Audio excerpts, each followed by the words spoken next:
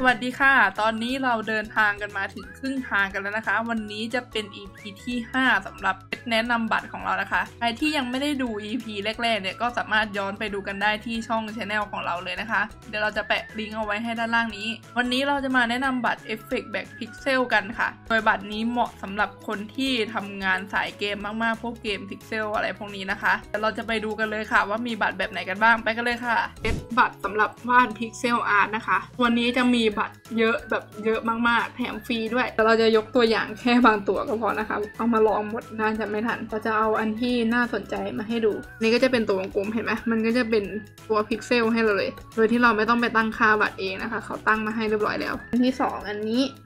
อันนี้ก็จะเป็นเหมือนวิ้งวิ้งนะคะ ค่าไหน อันที่เขาชอบใช้กันในแบบเกม pixel art อะไรเงี้ย มันก็จะเป็นเหมือนแทนแทนตัวดาวกระจายวิ้งวิ้งนะคะ อันนี้จะเป็นพวกบัตรสำเร็จรูป แล้วก็ตัวที่เป็นตัวสำหรับลากเส้นก็มีค่ะอ่าอย่างอันนี้มันก็จะเป็นบัตรสำหรับวาดเส้นนะคะ อันนี้จะเป็นตาราง คือการเพิ่มขนาดแบบก็เหมือนจะแค่เพิ่มเนื้อที่ในการลง แต่จริง ๆ แล้วขนาดของจุดมันก็จะมีแค่นี้ อันนี้จะเป็นเส้น ก็คืออันนี้ก็จะเป็นตามขนาดบัตร ที่เราเลือกแล้วก็จะต้องจุดอย่างนี้เอาเนาะเพราะถ้าเราลากไปเลย มันจะติดกันเป็นเส้นจะใช้วิธีการจุดจุดจุดจุดจุดให้เป็นจุดพิกเซลนะคะ นอกจากบัตรพวกนี้แล้วมันจะมีพวกบัตรแบบว่าเอฟเฟกต์ตกแต่งด้วยค่ะ อย่างอันนี้ อันนี้จะเป็นเหมือนพื้นหลังคือพอเราลากไปปุ๊บอะสังเกตนะคะ คือแม้ว่าจะลากทับกันแค่ไหนมันก็จะเป็นลายลายเดียวกันไปนะคะ นี้จะเป็นเหมือนเส้นแบบ error นะคะภาพ error แบบเนี้ย เหมือนเวลาจอคอมดับหรืออะไรพวกนี้นะคะ เราอยากเพิ่มขนาดมันเรามาเพิ่มตรงนี้ตรงนี้นะคะ เราก็จะ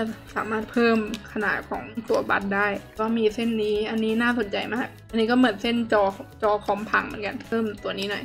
เนี่ย แล้วก็แบบเหมือนภาพเหมือนภาพแนวๆแบบในคอมพิวเตอร์นะคะ แล้วก็คอมพิวเตอร์แบบเกิด error ขึ้นมาอะไรเงี้ยแล้วก็เอาอันนี้ปาดได้เลย อันนี้ค่ะที่มันมีเยอะมากเลยนะ ลองโหลดไปเล่นดูได้มันแบบคิดว่าอันนี้มันมีประโยชน์มากเลย ต่อไปที่จะมาแนะนำเป็นเซตเป็น glitch นะคะก็เลยก็คือเส้นแบบว่าเส้นมัวๆเส้นแบบจอทีวีพังเส้น noise เส้นอะไรพวกนี้นะคะ ซึ่งตัวนี้มีทั้งหมด 2 เซตมีเยอะมาก แล้วก็ใช้ได้หลากหลายสไตล์นะคะ อย่างอันนี้เราชอบมากเลยที่เป็นสีรุ้งอะแล้วก็ลองเอามาปาดดู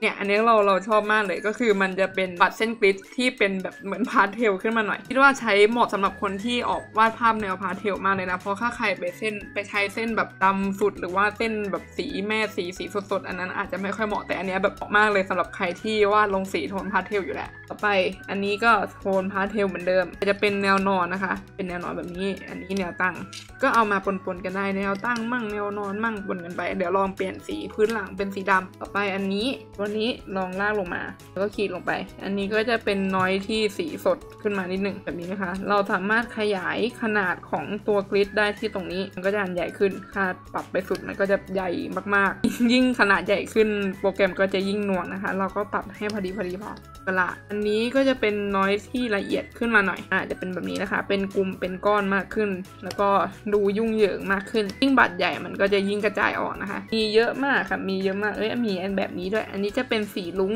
แต่ว่าเป็นสีลุ้งที่ชัดขึ้นมาหน่อยจอทีวีเสียนะคะ นี่เป็นเซตแรกต่อไปเซตที่สองค่ะ เซตที่ 2 จะเป็นตัวนี้นะคะ เป็นอันนี้เลย แต่ว่าก็จะเหมือนเดิมมีทั้งแบบสีพาสเทลมีสีสดๆ แล้วก็ส่วนใหญ่จะเป็นแนวนอนนะคะ ไม่ใช่ส่วนใหญ่น่าจะทั้งหมดเลย คือจะเป็นเส้น glitch แนวนอน ก็ลองปาดลงไปดูอ๋ออันนี้สีจะสดใสขึ้นมาหน่อยไม่เชิงพาสเทลแต่สีก็ไม่ได้สดมากมีความผสมผสาน อันนี้ค่อนข้างชอบสีของตัวนี้มากเลย ลองลากลงไป เดี๋ยวขยายนิดนึง ก็ลากลงไป อันนี้ก็จะเป็นเส้นแนวนอนที่บางๆหน่อย ก็เนี่ยนะคะ เราก็หยิบมาใช้ปนๆกันผสมผสมกันไป เอาจนกว่าเราจะพอใจมีให้เยอะมากๆ ก็ลองเอาไปเล่นกันดูค่ะ คิดว่าน่าน่าจะเล่นกันเพลินเลย เพราะว่ามันมีให้ใช้เยอะมากจริงๆ EP นี้จะบัตรจะน้อยหน่อยนะคะ แต่ว่าแต่ละอันเนี่ยมีคุณภาพแน่นอน เพราะว่าเป็นบัตรที่เซตใหญ่มากนะคะ แล้วก็สำหรับเป็นลายเส้นที่เฉพาะเจาะจงจริงๆ แต่ว่าเวลาวาดรูปออกมาก็จะน่ารักไม่แพ้ลายเส้นอื่นๆเลยนะคะอันนี้ก็จบกันไปแล้วนะคะ กับการแนะนำบัตรเดี๋ยว EP หน้าเราจะมาแนะนำบัตรอะไรอีก อย่าลืมกด Subscribe แล้วก็กดกระดิ่งแจ้งเตือนกันไว้ด้วยนะคะ จะเราจะได้ไม่พลาดคลิปใหม่ๆกันส่วนเพื่อนๆคนไหนอยากให้เราแนะนำบัตรอะไร หรือว่าอยากให้สอนวาดอะไรทำคลิปอะไรเพิ่มเติมสามารถคอมเมนต์เอาไว้ที่ใต้คลิปนี้ได้เลยนะคะ เดี๋ยวเราจะมาอ่านแล้วก็ดึงเอาคอนเทนต์ไปทำกันเนาะก็เจอกันใหม่คลิปหน้าสำหรับวันนี้สวัสดีค่ะ อย่าลืมกด subscribe กดกระดิ่งใน YouTube และกดไลค์กดแชร์ลง Facebook กันด้วยนะคะ